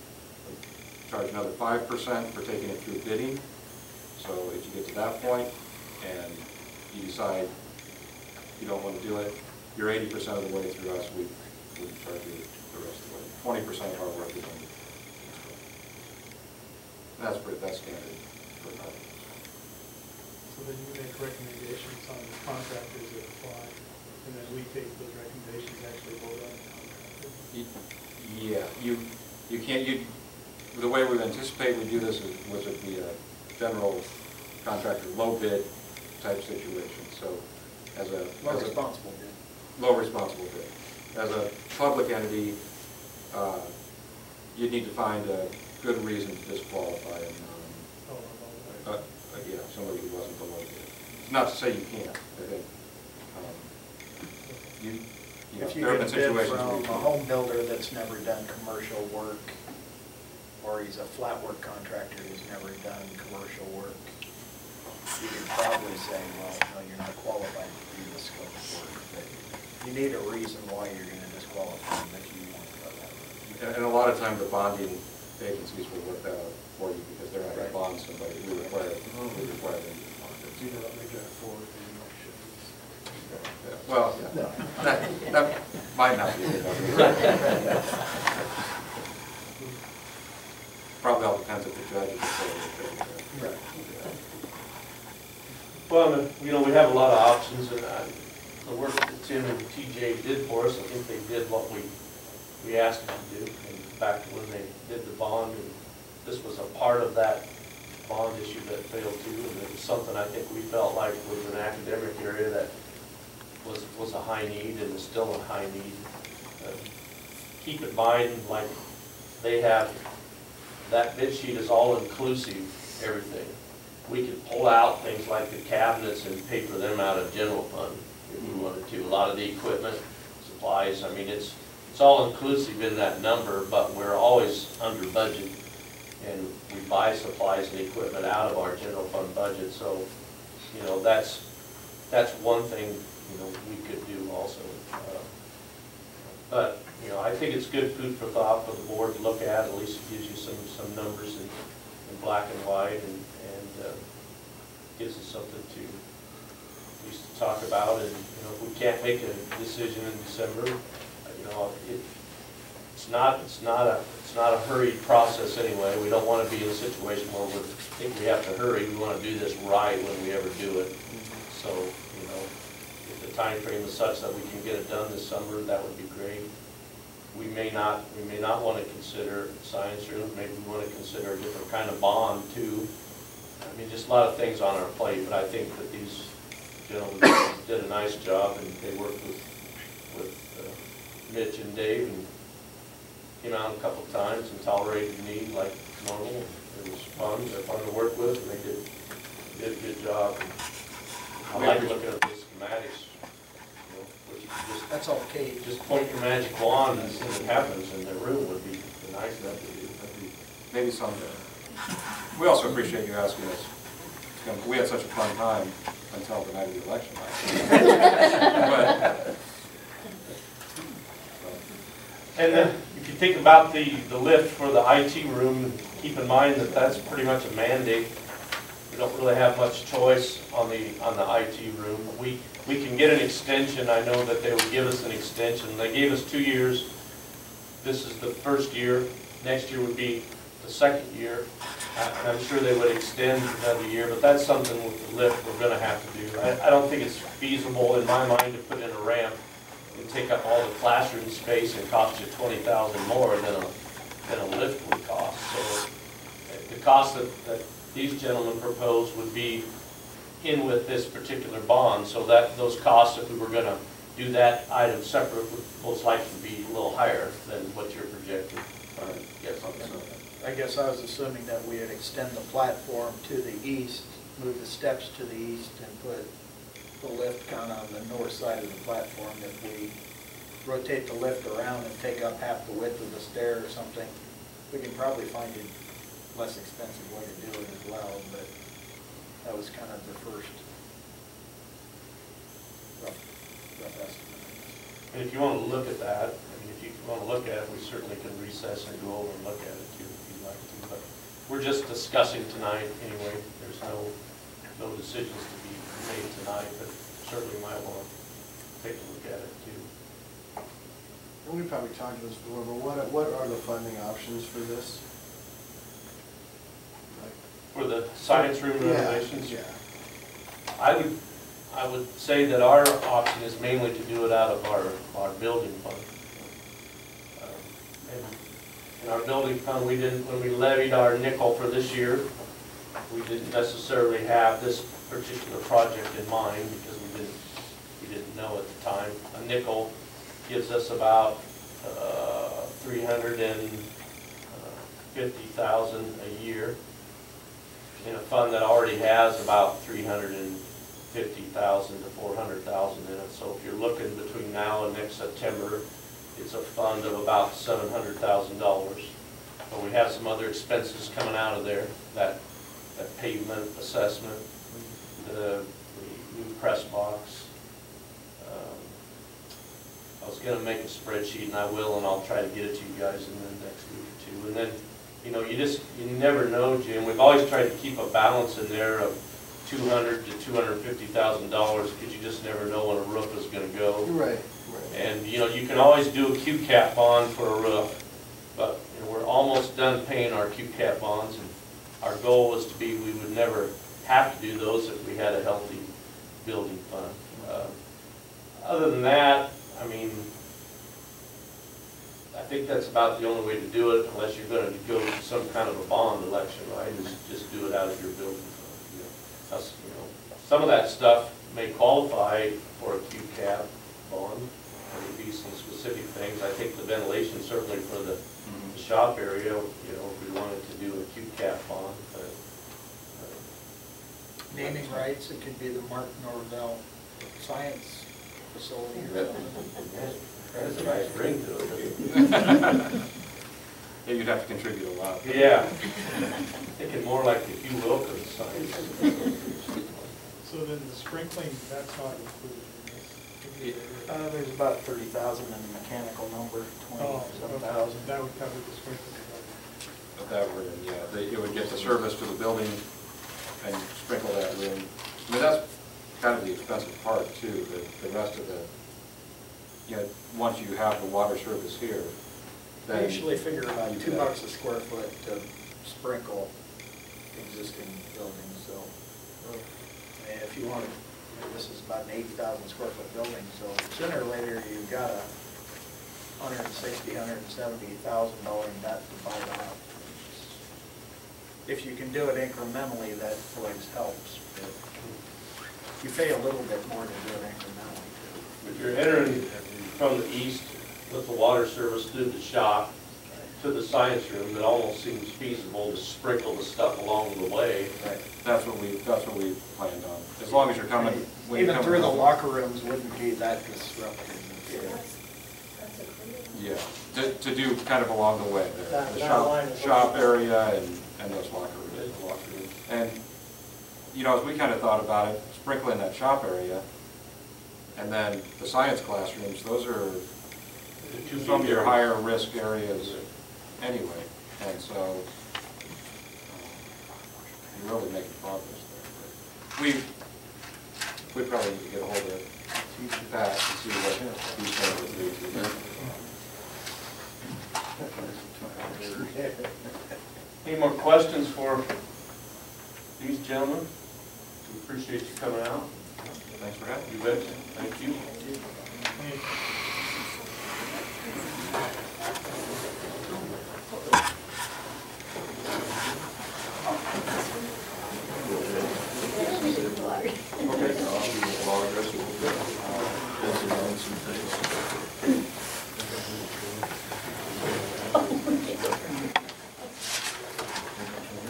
Between, between now and, and the December board meeting, is there anything in particular the board wants from me in relation to this project?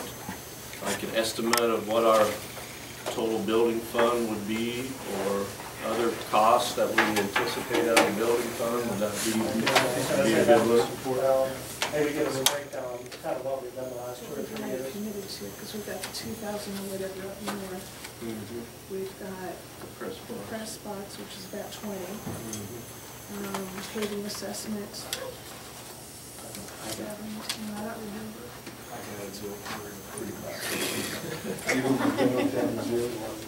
They're working that whole way around the school. You get that for nothing, you pay your taxes off that. You know what, we got the paving assessment, got, I think it came in the mail Friday, and I was digging through my stuff today, and I just didn't get it out because I didn't have it on the agenda, but I think we do have it.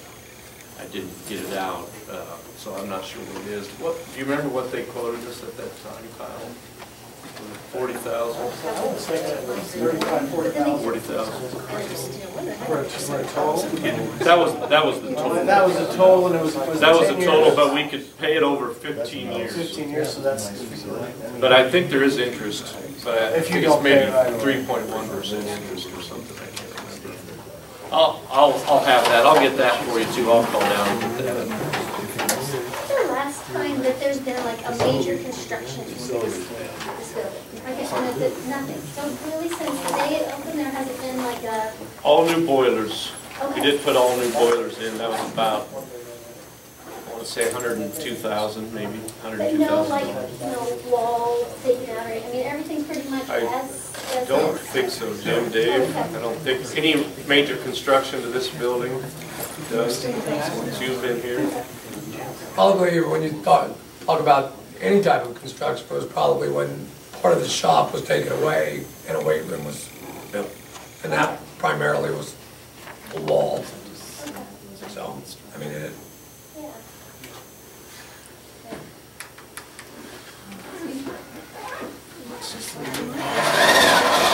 Yeah, just, you know, I will find that information and I'll get it to you soon. And if there's anything else that you want to know, uh, you just have to let me know and I'll try to find it for you too. So then, then, uh, the job, we could probably do another year next year. We'd, we'd have to look at and see the, you know, every, I think, I would, it is different. I would tell you we'll have plenty of money in the building and fund to do it. I would tell you that. But I don't know between now and, and May what can happen Oh, I understand. with the roof and, and whatever. So it's just difficult to predict those things. I mean, we're in a lot better shape than a lot of districts, certainly. And when, if you can do something without a bond that you're paying over twenty years, I, I, I think that's great too. It's certainly a, a need, certainly a need, hard to argue, but I always have caution when it comes to spending money, because you just never know. But uh, certainly they did the job for us. When, when we did the bond, when we had the bond issue, they were allocating around four hundred to four hundred and fifty thousand for the science renovation. So, so I, they, they came out pretty close to, to couldn't- I that. was thinking it was less than that, but that's, And they, we can do it less than that now. I mean, this, this is basically saying we want a twenty-first century chemistry, biology classroom. Kind of like when they started the bond process, you know, wish list. wish list. Yeah. I mean, it's probably been, has it been paired some though, probably, or not? Say that again. The- Like when they did, started with the bond, it was a wish list. I mean, like everything in the gym and everything in the auditorium. Well, yeah, it, this is pretty much turnkey as far as we know for what they're talking about, but we, there's variations of levels, and we didn't go, we want the moon. We, we kind of went, if you were to walk into a high school lab, what would you expect?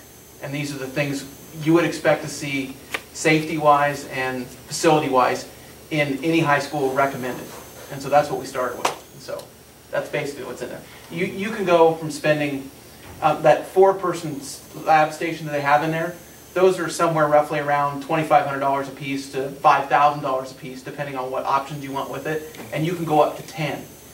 You know, they make them where their, their, their height changes, and they do all sorts of different things that you can do for handicap accessible and all sorts of stuff. But we kind of went run-of-the-mill, what would you expect, what, what would we want to see? And also, if somebody walked in the room, they wouldn't go, wow, they cut every corner. You know, we wanted to do, you know, kind of the middle of the road, that's what we did. So- and I think the other thing is we looked at this not being a renovation project in another ten years. Right. This is a project that's going to be around for, Last another twenty-seven years. Or longer. Or longer, yeah. Thirty, well, And I, I think also the other thing is, if you look facility-wise, we were just talking about this a minute ago, my chemistry lab had the lab stations put in from the old high school. So of all the facilities we have here at the high school, that, that is one that has the oldest materials in it, and really should probably be, safety-wise, the newer stuff. They were new when they were new to other things. That's good. Um, I think the other big question is the unknown, is we don't know whether the fire marshal's gonna let us phase in the rest of the building. That would be the other big And question. he, they sound like they would talk to this next It's in the project. It's in the. It's in Just go to the other side and say he will. Or more.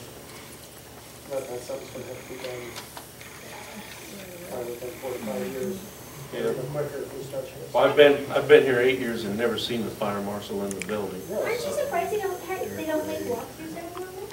There's no need to? I'm glad they don't. Well, yeah, I, I know what you're I, saying. they've but I never just been here so- for the eight years I've been here, they've never been here. Or if they came here, they certainly didn't stop by and introduce themselves. But I think it would be helpful if, uh, after Mark sends us this information, if you would return kind of your feelings to uh, either myself or to Mark about whether you think we should move ahead or if we should wait. And that will kind of help determine our December agenda too. I guess, I'll just throw it out there. I kind of think this is something the people I talked to, that voted for or against the bond, that make a difference. This was one of the things that everybody was kind of consensus that they thought was a, wa- a good place to spend money. Mm-hmm. I mean, that, that's kind of the, the take I got from it, so. Okay. Well, and I, am I understanding correctly, the lift is something that we really, regardless of what we do with the science rooms, the lift we need to do anyway, right? And we've agreed to do that? we, we were ordered by the Civil Rights Commission to do We're gonna Right, but we, but we as a board kind of committed that that's the Yeah. project we want to do. Right. So that's not really something we need to feedback on, I mean, that's a, No, just that, it'll, you know, they will tie it in with this project or we can separate it out and Right. just do it on our own. right, but the feedback that you're looking for before next month. Just be on the science rooms, yeah. Yeah, we pretty much have to do the lift. I mean, I think we're already committed to that. You're right, So we're you're right. On the, on the lift, is that something other schools have done that, you know, we could do it as a side project and not get so detailed? Or just have somebody, you know, from wherever come in and put a lift in and be done? Or is it something we need You to have? you an gotta have an arch, architect you gotta have an You do have to architect have an design. architect involved? You have to, Okay. with the That's- public entity. You've gotta have the architect design it, then you're free to, to go bid it out and I mean, grant it that's to where I was going, anybody. if, You know, could Yeah. we eliminate, Yeah. it, but, okay, maybe that's it. We Okay with this then? Then the uh, next item was the L Street lighting. Yeah. I think we discussed. And I that. kind of, I really kind of discussed that, we're waiting, we're waiting on the city, and, and I'll jump ahead, Dennis, and the same for the football bleachers. He came out and he looked at it, and, and he gave me a picture and a proposal, and he told me he'd email me the costs, and I just still haven't got it from him, so I think we better just mark that off for right now. If you- Just a reminder, we're, we've talked about replacing the one set of football bleachers in front of the concession stand to accomplish two things. Number one, have a place for handicap accessible people to be able to watch from the bleachers. The only place we offer is the track, and again, that's by law, that's really not, not permissible. They're supposed to be able to go where everybody else can go. And then the second thing is, we, we had an incident where a child fell through, fell through the bleachers, and so, um, you know, that would, that would also be taken care of by that, So but, we're just moving this to the next meeting. yes. Then we have the audit report. I, I just marked two things in the audit report. You really have all month to look this over if you want to. We normally approve at the December meeting if everyone's happy with it, but I got two, I think those are pink or salmon colored arrows, and that's Exhibit D. Exhibit D is all of our major funds, the top half being the, top portion there being the receipts in all those funds for the year, and then uh, the bottom being about the fourth line from the bottom is the total disbursements or expenditures.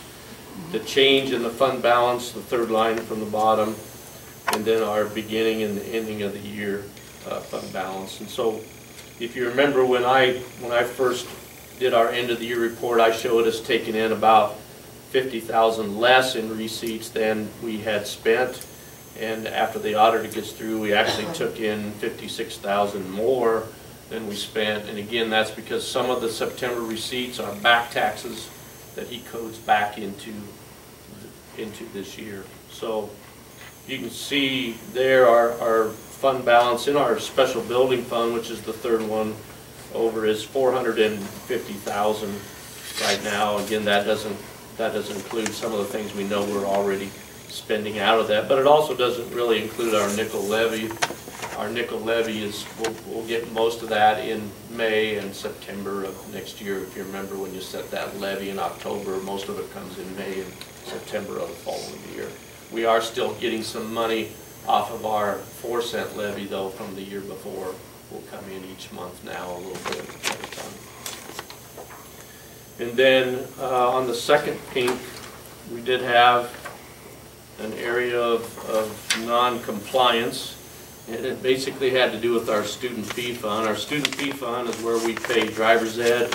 We take in driver's ed fees and pay for the car and the gas, and then we also take in our laptop fees and then pay for repairs. And, and we actually had more repairs this year than we've normally had, and so we actually spent more than what we said in our budget document. So uh, Lynn and I are going to go back through that. We might have had some carryover from the previous year that we didn't get rid of, so we may have to amend our student fee budget for this year, because this year I only have fifteen thousand in it, so if we overspent last year, we may again this year. And of course, uh, the state auditor doesn't like it when you overspend your budget. And of course, we're not talking like, our general fund budget's eight and a half million, so when you're talking twenty-five thousand or sixteen thousand, it's probably not a big deal, but we shouldn't do it. We shouldn't do it, and we did do it, so that's, that's my error, and, uh, so we do have an area of non-compliance that we'll, we have to write a letter and tell them what we're gonna do to, to correct that, so. But, um, you know, if you like reading, there it is for you for the month, but I highlighted two of those, two of those areas.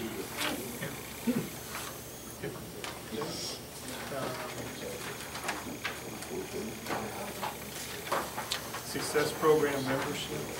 Every November, we send you the spreadsheet, and Mrs. Rayburn puts this together, and she meets with the success superintendents, which, if you remember, success is a seven-district cooperative, and so she meets with the superintendents and goes over the, the enrollment and the staff, and I just always give you a copy and take a look at it. It's great, it's a great program.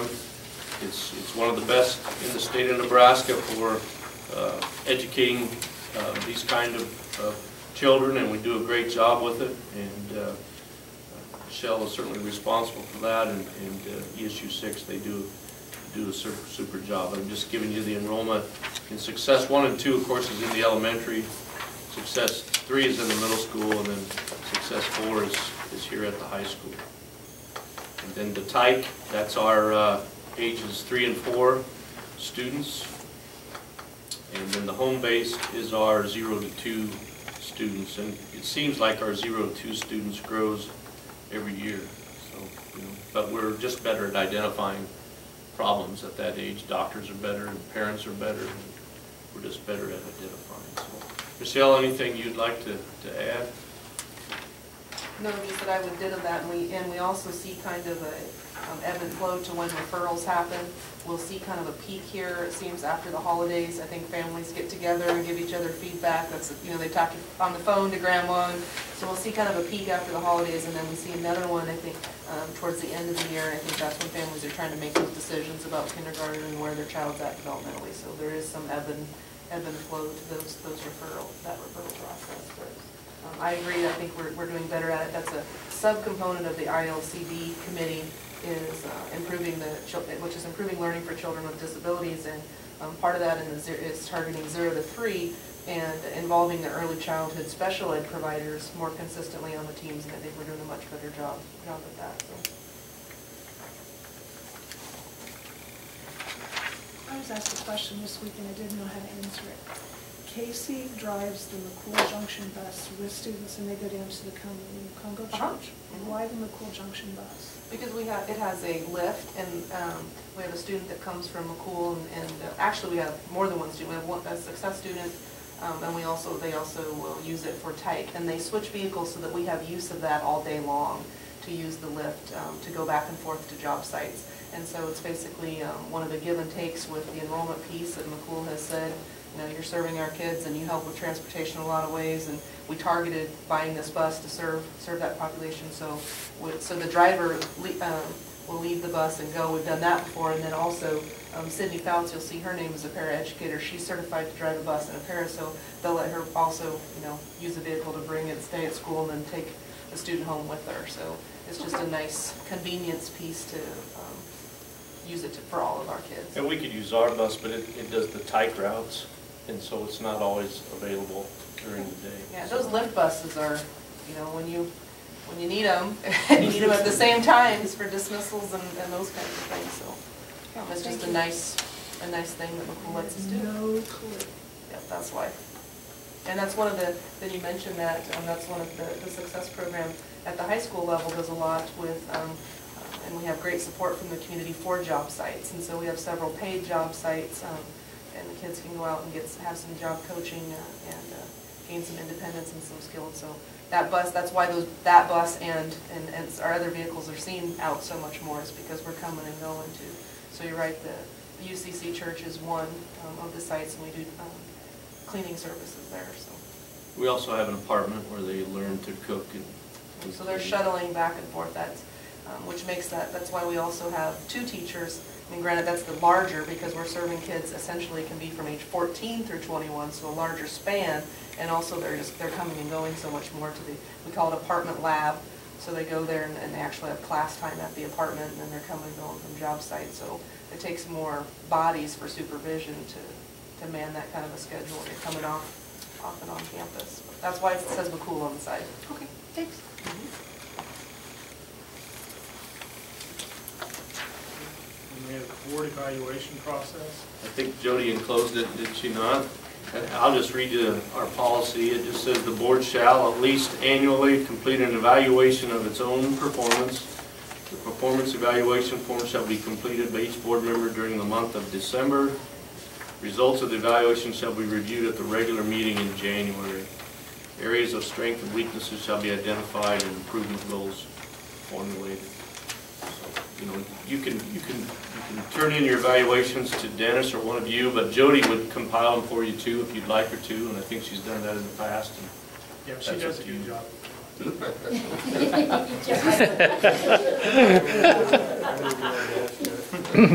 Is this the form that we've used in the past? The same I don't remember. I think Sean is just new a couple of years, right? Yeah, yeah, looks guys, yeah. Sean was Is that the one you president. guys were- Did she send this one online, is that how she did that?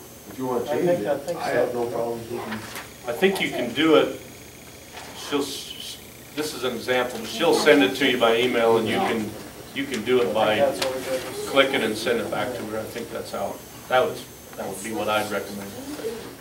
I'll remind her, but I'm sure she's probably planning on doing that anyway. Okay.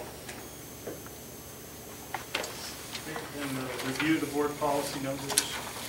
We had three policies that had been checked, 5210.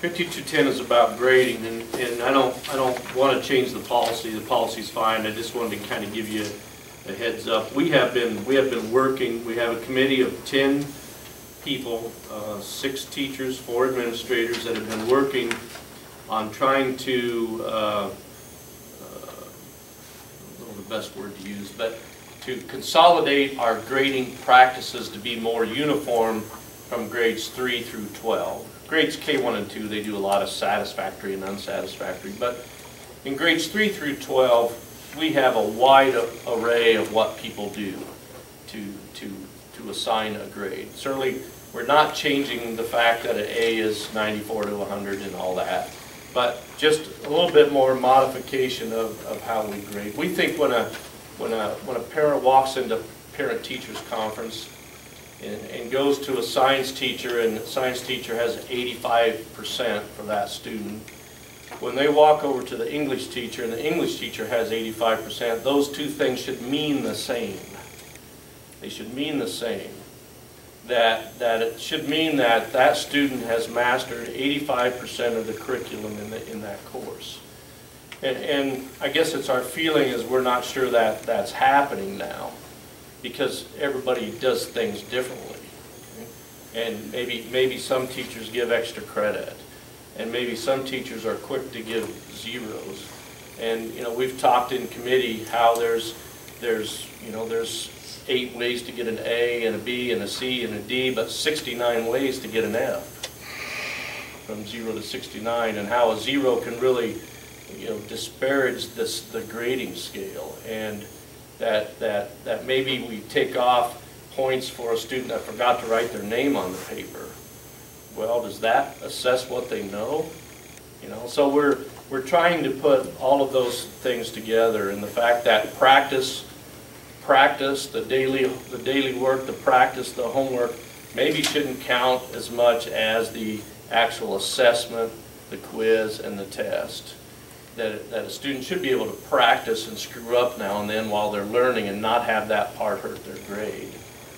So we're, we're, we've had, it's been, it's been, and these three have been part of it, it's been, uh, it's been two years, getting close to two years of, of great work, and, and I don't think, I don't think it's, you know, we're gonna, we're gonna show the board what we're doing, I mean, this is your policy, so you don't really have a lot of guidance, cracking the whip and telling us what to do anyway, but we wanna share it with you, what we're doing, because we wanna put it in place for next year. We're still pounding out a few, a few nuts and bolts, and we'll probably bring some of the committee to go through it with you. But we've had great, great discussion, great interaction. We, we started with a book by Ken O'Connor, and I can't remember the title. Grading for learning. Grading for Learning, beautiful. And uh, we don't think it'll really upset the apple cart, and we think that it's really going to be very, very good for, for kids and, and certainly good for our staff. And we think once parents get used to the idea that there's a course syllabus and we're telling them that this test counts so much percent and these quizzes are this percent and it's spelled out in every classroom and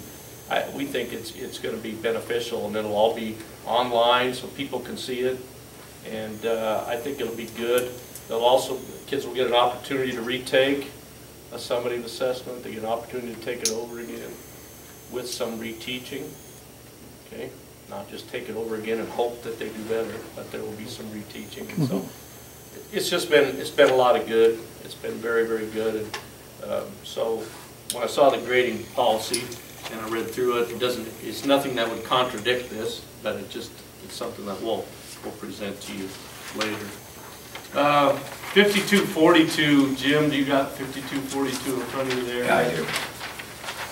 I I would suggest to the board that we probably don't need this policy anymore. Can you see a reason that we would need it, or do we want to make some adjustments to it, Jim? Probably the biggest thing that kids use this is when they want, they wanted to leave the military second semester. Um, More cases than not, I, that's what I remember it being used for. Not so much for a kid going on to a college to start second semester, but towards the military. When we, when we had block schedule, we had a, we had a significant amount of kids that may qualify for graduating at December, right? And we still could. Right. But without block scheduling, it's probably not gonna happen as often, you know? Probably not strictly. Because with government being a semester class, unless they Yeah. take it as a junior, Right. and government's required. They would have to have a lot of plan, I mean, they would have to have this well thought out and planned. So the reason I brought it here is, was whether the board or you were interested in making any adjustments to it whatsoever, or is it fine the way it is? That's the main thing. The only thing I remember was, I don't know why it's coming up in my head, this, but we had the one individual that went military, and then there was an issue about whether he could wear, uh, he wanted to wear his dress blues and not the robe. That's the only thing I could think of. I think we allowed that. And we allowed him to We do allowed that. that. Okay, That's the only thing I would always say, that, that over, that trumps everything.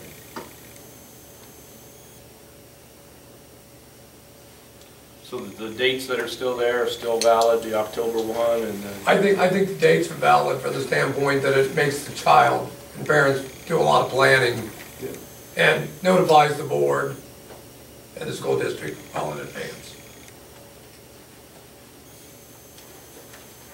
Okay.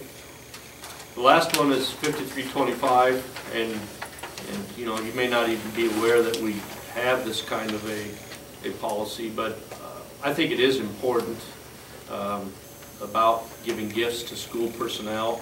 certainly, you know, there's a, there's an implied perception there that when you give someone a gift, maybe you want something in return, you know, a better grade for your son or daughter, or a starting position on the team, or, so, I mean, we just stay away from those things just because of the implied persona. There are some exceptions in there, and, uh, you know, we did, we did have a situation a couple years ago where a family gave all the wrestling team a jacket and the coaches a jacket, didn't go through the school, didn't go through Mr. Malone, and and it caused an issue, causes an issue with other team, school, students on another team that says, why don't we get a jacket? Well, it was the parents that donated it. Second thing was, you know, our coaches, they're not to accept a gift, and they did, and so we've, we've had a long conversation. I think the intent was, the intent was to do something nice, but they just mm-hmm. didn't follow the right, the right procedures to do that, and so we've kind of, we've had that, you know, and it, and it sounds innocent, but I'm, but I'm telling you, those, the kind of things that seem reasonable aren't always reasonable. I mean, it just, it is improper to accept gifts in those situations, so. It's, you have to be above reproach. Yeah. And that's the toughest thing. Especially when you got people doing great stuff and then We have a procedure that they can go through to get that done, and they just need to follow the procedure. So I just, I just highlighted that because I don't want to change it, but I just wanted to make you aware of, we've had an issue with it, and so hopefully, hopefully the board still supports that. If you don't support it, we should get rid of the policy, but uh, I think it is important to have it. so. Okay, then we go to superintendent evaluation. We need a motion to go into executive session for that question and answer period. So we have a motion for the executive session. By Mark, seconded by Dave, board in I think executive section session did an extra. for the purpose of personnel evaluation. Moved by who and seconded by who? It was moved by Mark and seconded by Dave.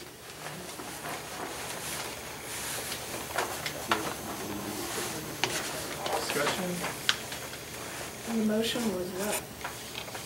Do an executive session to discuss the superintendent evaluation at nine twenty-three.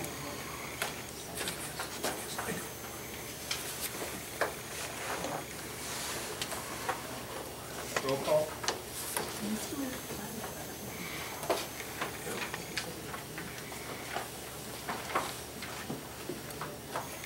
Okay, Lightline, Yes.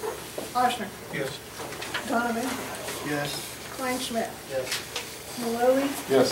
nine yes, Shawcott, yes, Delmeyer. Uh, I would suggest a, like a five-minute break. Okay. Start this.